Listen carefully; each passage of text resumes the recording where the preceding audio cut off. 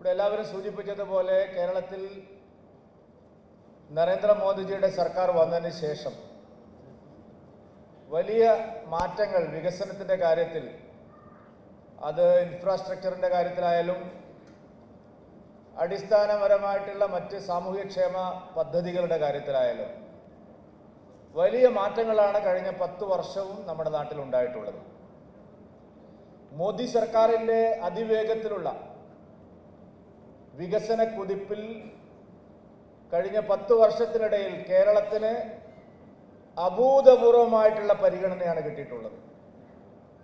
രാഷ്ട്രീയമായി വിയോജിപ്പുള്ളവർ പോലും കഴിഞ്ഞ പത്ത് വർഷം കേരളത്തോട് നരേന്ദ്രമോദി സർക്കാർ കാണിച്ച താല്പര്യത്തെ വസ്തുതാപരമായി ഖണ്ഡിക്കാൻ അവർക്ക് സാധിക്കില്ല. ഈ ഏറ്റവും ഒടുവിലത്തെ ബഡ്ജറ്റിൽ.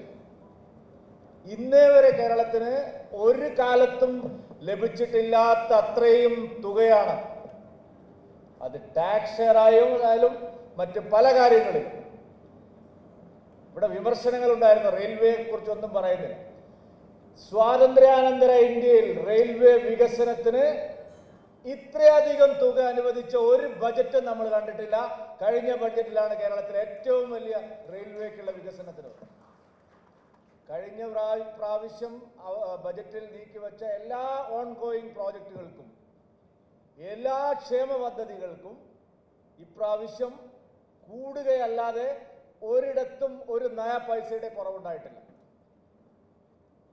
അതോടൊപ്പം തന്നെ കേരളത്തിന്റെ വികസനത്തിനായി നിരവധി സംരംഭങ്ങൾ കഴിഞ്ഞ പത്ത് വർഷത്തിനിടയിൽ മോദി സർക്കാർ പ്രത്യേകമായി നൽകിയിട്ടുണ്ട്.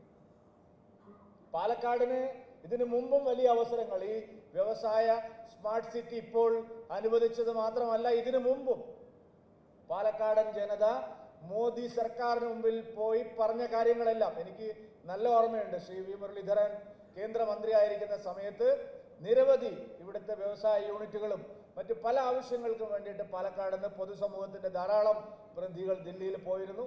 ആ സമയത്തെല്ലാം ഒരു യു പി എ ഗവൺമെന്റിന്റെ കാലത്തും കിട്ടാത്ത അത്ര പരിഗണന പാലക്കാടിന് കിട്ടിയിട്ടുണ്ട്. ഇപ്പോൾ പാലക്കാടിന് ഈ ഇൻഡസ്ട്രിയൽ സ്മാർട്ട് സിറ്റി കിട്ടിയതുകൊണ്ട് ഒരു മൂവായിരം നാലായിരം കോടി രൂപയുടെ നേരിട്ടുള്ള വികസന പദ്ധതികളാണ് നമുക്ക് വരാൻ പോകുന്നത്. അമ്പതിനായിരത്തിലേറെ ആളുകൾക്ക് നേരിട്ടും ലക്ഷക്കണക്കിന് ആളുകൾക്ക് പരോക്ഷമായും തൊഴിലവസരങ്ങൾ ലഭ്യമാവുന്ന വലിയ മാറ്റത്തിന് പാലക്കാടൻ നഗരത്തിൽ വലിയ മാറ്റത്തിന് തുടക്കം കുറിക്കുന്ന സ്മാർട്ട് സിറ്റിയാണ് ഇൻഡസ്ട്രിയൽ സ്മാർട്ട് സിറ്റി ഇപ്പോൾ ഇവിടെ പ്രഖ്യാപിച്ചിരിക്കുന്നത്. അതിന് അവസരം നൽകിയ പ്രധാനമന്ത്രി ശ്രീ നരേന്ദ്ര മോദിജിയെ ഭാരതീയ ജനതാ പാർട്ടിയുടെ കേരള ഘടകത്തിന് വേണ്ടി പാലക്കാടൻ ജനതയ്ക്ക് വേണ്ടി ഞാൻ പ്രത്യേകമായ നന്ദി രേഖപ്പെടുത്തുകയാണ്.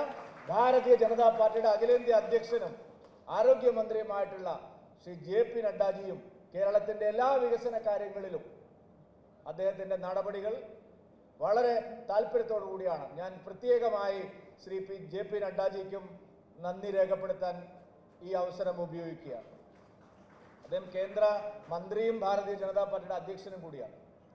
ആരോഗ്യരംഗത്ത് ജെ പി നഡ്ഡാജി വീണ്ടും കേന്ദ്രമന്ത്രിയായി വന്നതിന് ശേഷം അറിയാം നമുക്ക് മെഡിക്കൽ വിദ്യ- വിദ്യാർത്ഥികളും അതുപോലെ നിരവധി ആളുകൾ കേരളത്തിൽ നിന്ന് ഞങ്ങളൊക്കെ ദില്ലിയിൽ പോകുന്ന സമയത്ത് കേരളത്തിലെ നിരവധി ആൾക്കാർ ഇന്നും ഇവിടെ മൂന്ന് നാല് കുട്ടികൾ വന്നിട്ട് ഒരു കാര്യം പറഞ്ഞു. അപ്പോൾ തന്നെ അതിന് നടപടിയെടുക്കുകയാണ് ഓൺ ദി സ്പോട്ട് നടപടിയെടുക്കുന്ന ആളുകളുടെ പ്രശ്നങ്ങൾക്ക് മറ്റു മന്ത്രിമാരെ പോലെയല്ല വളരെ പെട്ടെന്ന് തന്നെ കാര്യങ്ങൾ. ഞാൻ കഴിഞ്ഞ ദിവസം നമ്മുടെ മെഡിക്കൽ പി ജി സ്റ്റുഡൻസിന്റെ നീറ്റ് പരീക്ഷയ്ക്ക് പോകുന്ന നൂറുകണക്കിന് ഡോക്ടർമാർക്ക് ഇവിടെ ഒന്നും അവർക്ക് അവസരം കിട്ടിയില്ല.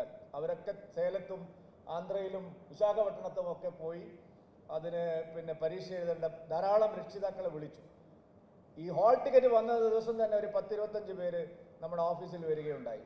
വൈകുന്നേരം തന്നെ ആദരണീയനായ ജെ പി നഡ്ഡാജി ഞാൻ വിളിച്ചു ഒരു ലെറ്റർ അയക്കാൻ പറഞ്ഞു അടിയന്തരമായിട്ട്. രണ്ട് ദിവസം കൊണ്ട് നാൽപ്പത്തെട്ട് മണിക്കൂറിനുള്ളിൽ കേരളത്തിൽ നിന്ന് നീറ്റ് പി ജിക്ക് പോകുന്ന എല്ലാവർക്കും ഇവിടെ തന്നെ അവസരങ്ങൾ ഒരുക്കി കൊടുക്കാൻ ശ്രീ ജെ പി നഡ്ഡാജി തയ്യാറായെന്ന് അതാണ് ഓൺ ദി സ്പോട്ട് അത്തരത്തിലുള്ള നടപടികളാണ് അദ്ദേഹം എടുക്കുന്നത്. ഞാൻ സമയക്കുറവ് കൊണ്ട് മറ്റു കാര്യങ്ങളിലേക്കൊന്നും കടക്കുന്നില്ല. പാലക്കാട്ടെ പ്രമുഖ വ്യക്തികളെല്ലാവരും ഇവിടെ എത്തിച്ചേർന്നിട്ടുണ്ട്.